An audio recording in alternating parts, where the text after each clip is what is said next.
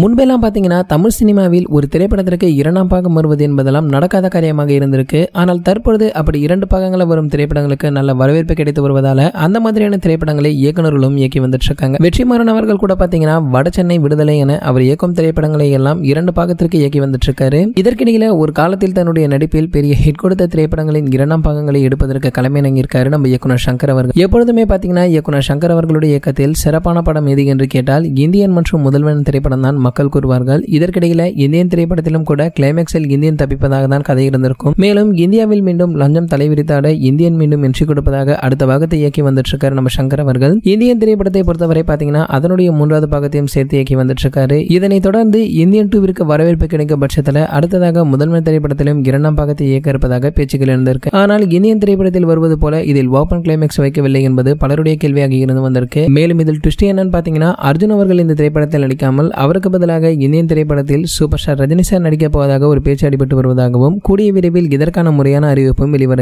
சரி ஓகே. இது போன்ற சினிமா பற்றி வெளியாகும் அனைத்து செய்திகளை நீங்க உடனே தெரிஞ்சுக்க நம்மளுடைய சினிமா கொட்டையான நம்ம சேனலை சப்ஸ்கிரைப் பண்ணிக்கங்க. பக்கத்தில் உள்ள பெல்லைக்கான கிளிக் பண்ணிட்டீங்கன்னா நீங்க நம்ம வீடியோவை மிஸ் பண்ணாம பார்க்கலாம்.